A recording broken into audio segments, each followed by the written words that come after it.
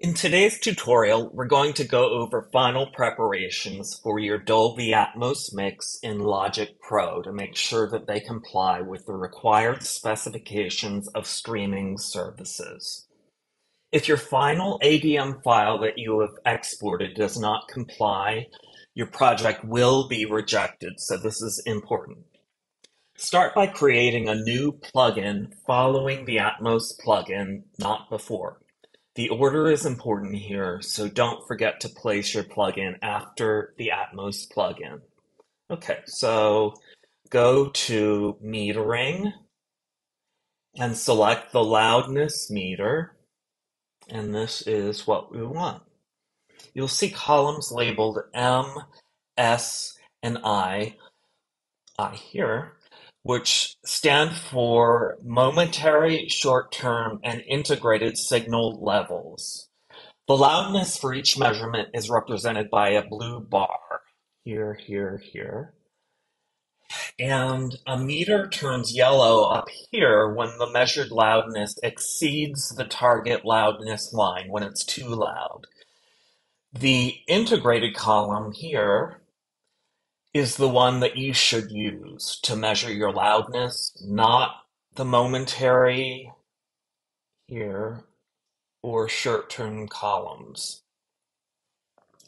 There is some confusion out there about the level you should be measuring. Your loudness meter should be set to 18 lufs, which it is right now. One article that I found in particular talks about minus 16 as the maximum level for Apple Music.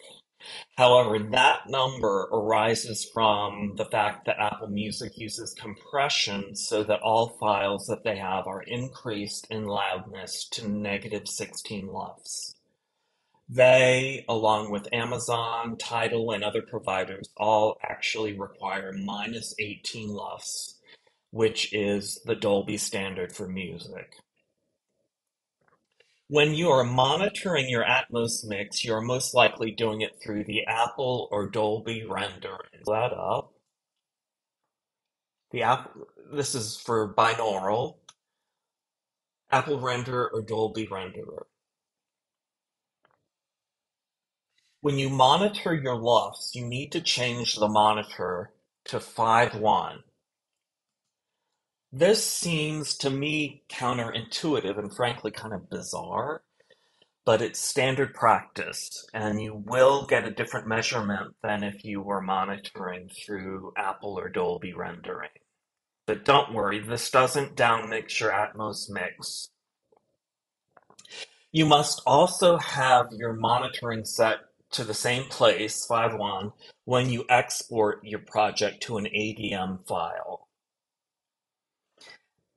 Going back to the loudness meter, you'll need to play the entire song from the beginning to the end while watching the loudness meter to make sure that at no point does it go above eight, negative 18 lufs. So I hope that makes sense, um, and I hope this tutorial answered some of your questions. I talked about some things that I struggled to figure out when I first started using Atmos, so I hope it was helpful for you.